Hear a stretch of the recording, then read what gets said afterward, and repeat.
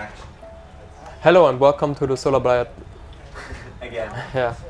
Hello and welcome to the Solar Butterfly Studio. Today we are here in Tallinn in Estonia and I'm here with Erki and you're from Cleantech. Can you tell us a little bit about your company?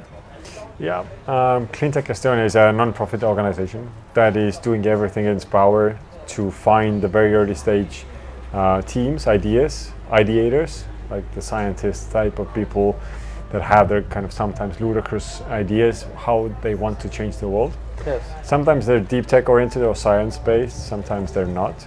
And we are the kind of organization that helps to first find those people, those startups, those teams, then provide them with the first resources that they need, either looking for a new team, some business partners, clients, customers, but also funding, and then accelerate their growth to, to keep their impact growing. Mhm. So, example, this would be students maybe from the university Yeah, here, absolutely. and um, if they have an idea, you will uh, support them, and if it fits, fits this clean tech theme, then yeah, we will support them. Yeah. Interesting. So, what have you uh, had? Uh, what what companies are supported by you?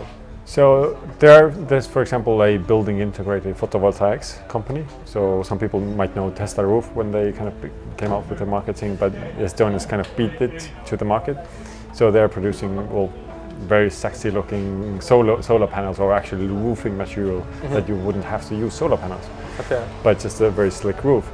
But there's also hyd- hydrogen generators that are that's now today in today's economy is a very important topic.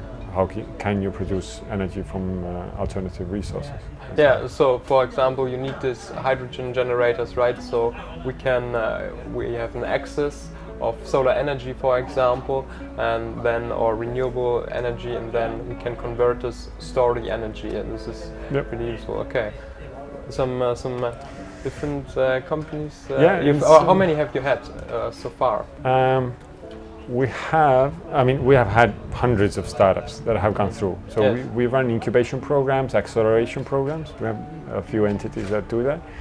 Uh, but we have invested in or directed investments into 70 uh, clean tech startups. Out of them, 59 are alive. As you know, you know, startups might die at some point Yeah. in time. Well, it's a, it's a good quote, I'd say. Yeah. yeah. And majority of those startups are operating in the either energy sector or novel materials. Materials development is uh, on a very high level in Estonia. Uh, or also mobility or agriculture and food, for example.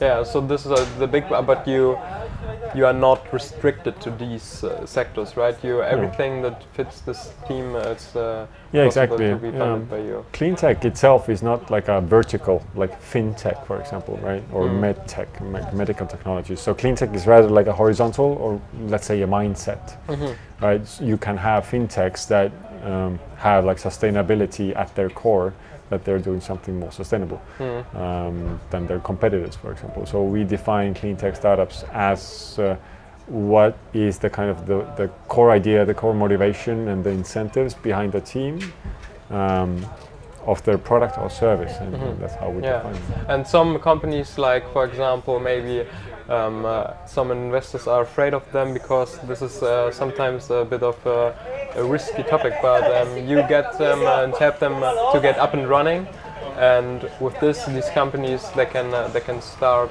their the journey to uh, change the the industry they are they're in, and yeah, help build a sustainable future and increase like yeah shares in renewable energies or reduce waste and such, such things, right? Exactly. Um, with the clean tech startups, also, for example, in Estonia, there's out of we have like 90 to 100 clean tech startups on average, or like basically in Estonia. Out of those, around 65% are developing something hardware. So clean technologies are pretty much all the times um, with some hardware component, Yes. meaning that of course the investors, the traditional investors, for example, in ICT sector that is very strong in Estonia and in this region, they might not the kind of hardware investment itself might not be that attractive. Mm-hmm. But what's also unique about us, once a startup become, comes to us and becomes our alumni or portfolio company, then we kind of manage the network of all those investors that kind of are looking for the hardware components, are looking for hardware investments as well. So they're kind of not, a, not afraid of this larger or longer time span of getting a product uh, or getting a prototype to a product and then getting the product to the market. But it's just Estonian companies, uh, or like, uh, are you also Europe-based? Um, Um, in Cleantech Estonia, we have all our Estonian companies. Yes. Uh, well, some have also uh, migrated to, to other other countries uh, where their main market might be as well, or main investors. yes.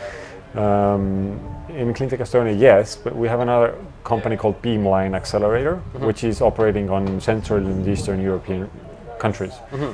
So Okay. that is concentrating on international scope of, of what we can do with our network and our impact mm-hmm. and our potential and our investors in that region, like Okay. international. So if a person that has an interesting idea for this, yeah, in this clean tech field, they can apply at your at your like website. Do you have a website? Yeah, Uh, absolutely. Um, Cleantech Estonia itself, we just closed around, but Cleantech Estonia, we are running incubation programs, acceleration programs all year round, so people can apply. Just keep uh, yeah, um, keep their uh, kind of eyes on our newsletters and and the social media, but.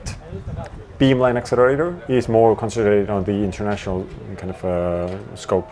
So there we run two batches per year with 10 startups that we take in. And there, of course, people who have great ideas definitely apply. Mm-hmm. Okay. Yeah, very interesting. Thank you, and thank you for your attention. And until next time in the Solar Butterfly Studio. Goodbye. Thank you.